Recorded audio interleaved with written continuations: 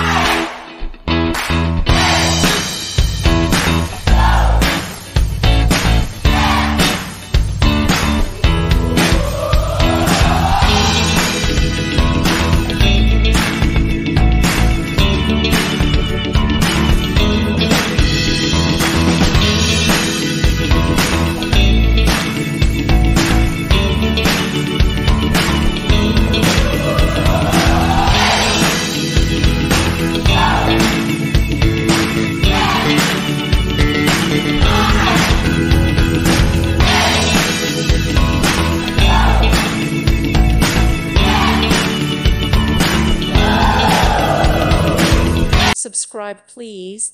Thank you. Thank you for watching, and God bless.